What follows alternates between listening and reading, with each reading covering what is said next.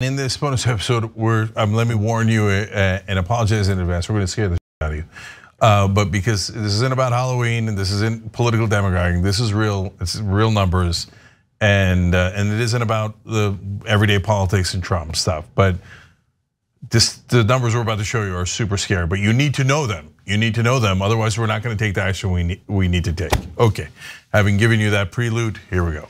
An alarming new scientific study suggests that the collapse of the West Antarctic ice sheet may be unavoidable at this point, regardless of anything we do in response to climate change. Now, as you all know, we're not even doing enough to deal with climate change. Uh, but even if we were hitting our goals in cutting CO2 emissions, it is unlikely, according to this study, to really impact what's happening with the West Antarctic ice sheet. So the study was published just this week in the journal Nature Climate Change.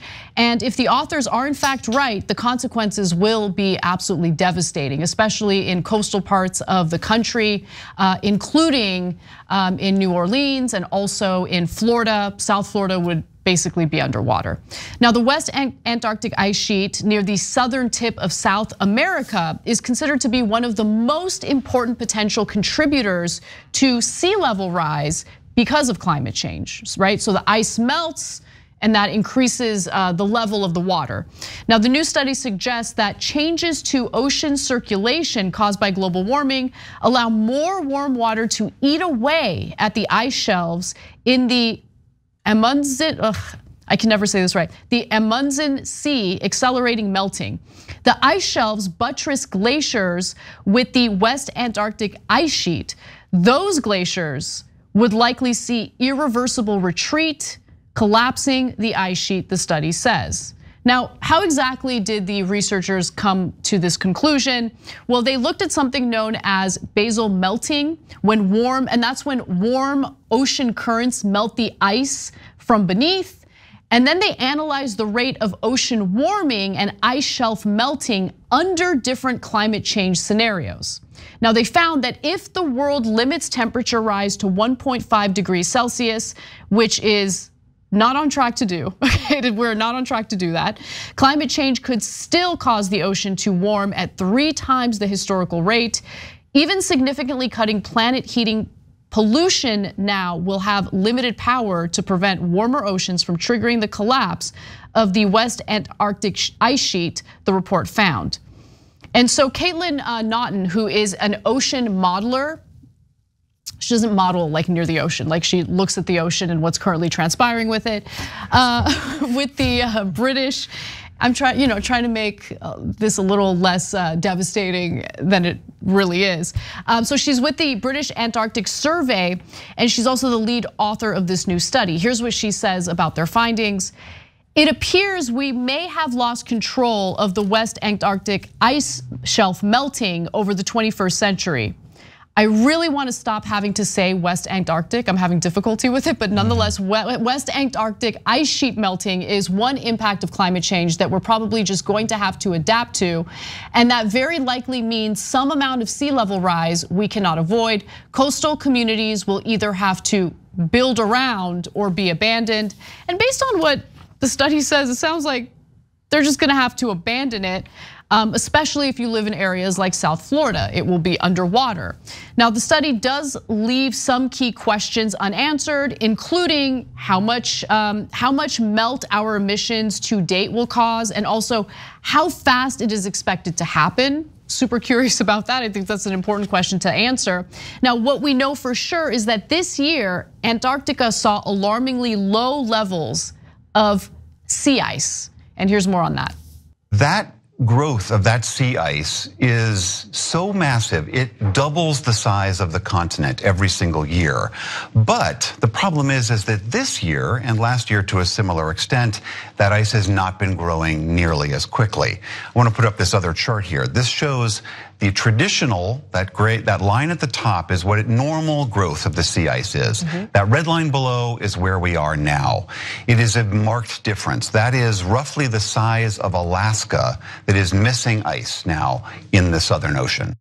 That's pretty terrifying. Okay, so the most recent study doesn't make uh, specific sea level rise predictions, but other researchers have estimated that the total collapse of the West Antarctic ice sheet could contribute to about 10 feet 10 feet to overall sea level rise, and that melt process would likely take several centuries. However, without adaptation, 10 feet of sea level rise would likely submerge much of Miami and South Florida, make Baton Rouge, Louisiana, Uh, oceanfront property and inundate the Brooklyn neighborhood of Red Hook in New York City, according to National Oceanic and Atmospheric Administration maps that give rough estimates of sea level changes. So, yeah. I look, I don't know what to do about this. Yeah. This this feels too apocalyptic and I'm not sure the message of there's nothing we can do about it is really all that helpful. No, there. Look, I think that there is something we can do about it, but we all have to turn right now, and we're not even close to turning. And we're not going to, Cenk. Yeah. Well, let's let's see what happens. So now the the reason I say that is because we're about to show you some. Uh, extra graphs that are even scarier. So this year is very, very likely to be the hottest year ever. Um, uh, September was the hottest September ever. October is on track to be the hottest October ever. July was the hottest month in human history, of recorded human history. Um, and uh, inside July was the hottest recorded day in human history. So this stuff is getting crazy. And all the numbers, as you're gonna see in a second, are off the charts. It's, it used to be a gradual rise, now it's spiking. It went from linear to exponential. So it is way worse than the scientists imagined. The, the, the right wing told us, oh, don't believe the uh, lying scientists, believe the oil executives.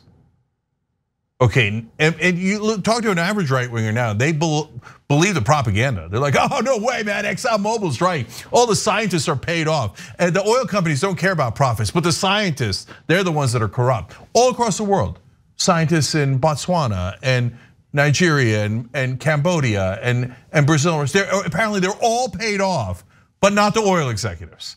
So they've gotten this uh, propaganda to work.